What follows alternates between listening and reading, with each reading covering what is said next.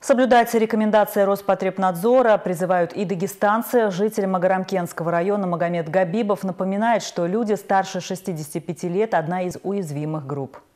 Дорогие друзья, ситуация с коронавирусом в нашей стране остается непростой.